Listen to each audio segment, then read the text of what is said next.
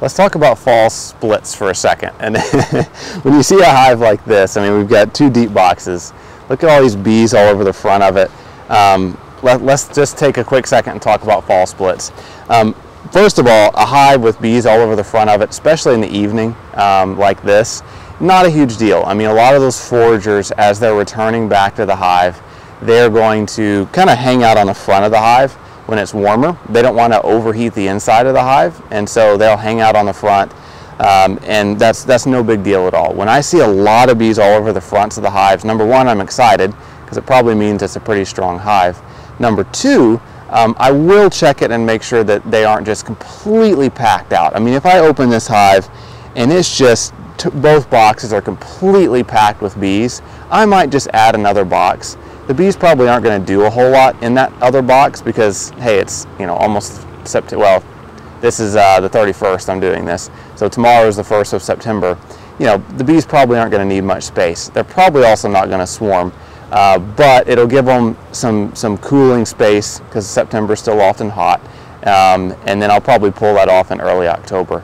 Uh, but in general, you know, if you've got two deep boxes, you probably don't need to add any additional boxes this time of year. Again, if it's just totally packed out, not going to hurt to add a, a, third box, and then you'll probably be pulling it off a month from now.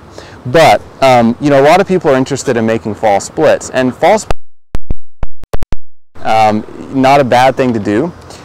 Here's what I found, and this is from a southern perspective. And I, well, I've tried this in the south, I've tried this in the north, I've kind of tried it everywhere.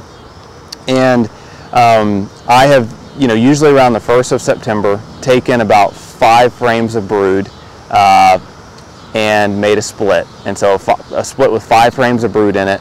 I always give them a mated queen, and about 50% of those splits survive the winter.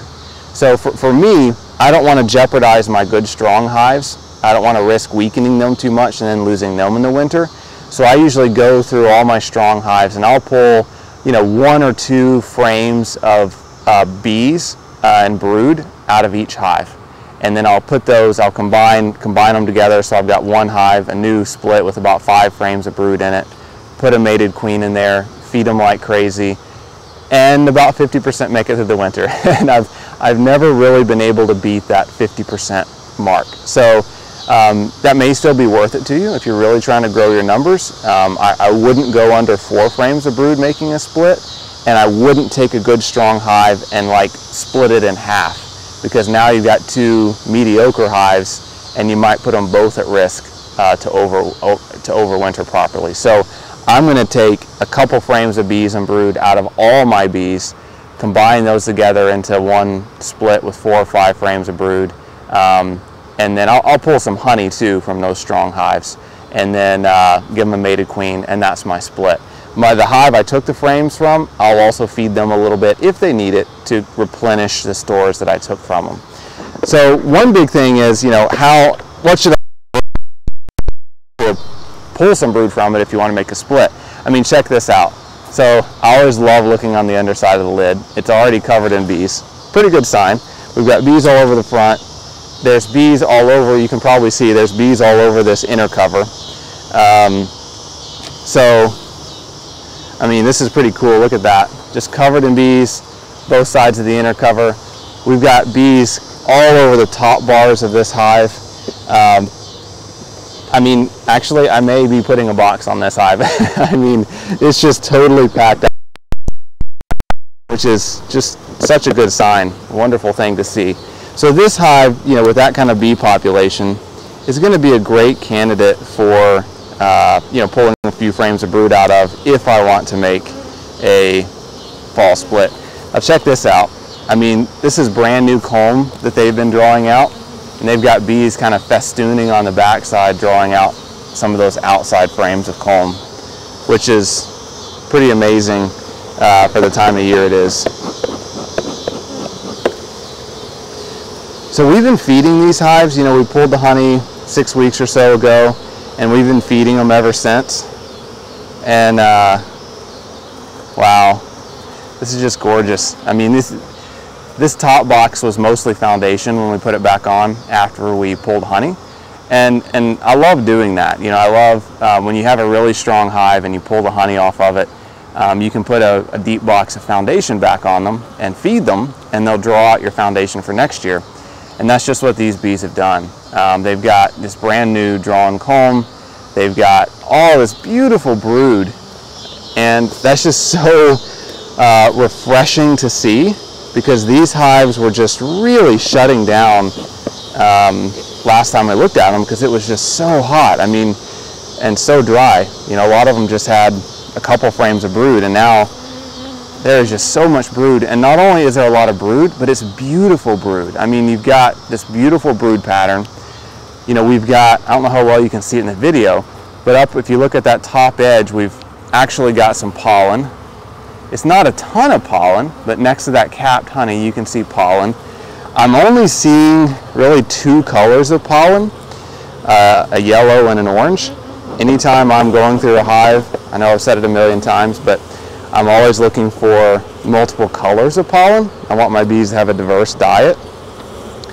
Um, just, just, I, I know I'm being overly enthusiastic here. We've all seen bees and brood, but just frame after frame of beautiful capped brood, I've got lots of eggs. I've got lots of larvae. Um, just such a welcoming sight after that crazy hot and dry period that we had in the south. We've got our apivar strip in here, treating for varroa mites. And I mean, this is a frame full. You've got some capped brood, but then there's also just a bunch of eggs and larvae, uh, mostly eggs. So it's probably super hard to see in the video. You probably can't see it. Um, but, you know, this, so this hive, I mean, they've got one, two, three, they've got five frames of brood up in the top box alone, which tells me they've, they've probably got five or six in the bottom box as well. So this hive could easily spare a couple frames of brood if I wanted to make a split, or just if I want to give some brood to a weaker hive. And so I'm going to kind of remember this hive as I go through the rest of the bees. And if I've got a different hive that's on the weaker side, um, I'll probably pull a couple frames of this capped brood out of this hive and transfer it over to a weaker hive. But overall, phenomenal hive, so refreshing to see a, a, just an explosion in brood um, and finally see some pollen in the hive. Um, they've got all the food that they need. I've got, you know, I've got about uh, three, about six frames of honey up in the top box. Um, you know, if I do a quick lift up on this hive, I mean, it's, it's very heavy. So, um, you know, I might give them a little, you know, maybe another gallon of syrup over the next couple of weeks. Um, and uh, we'll see what they look like in early October. But, you know, it's, it's set up perfectly for, for heading into winter.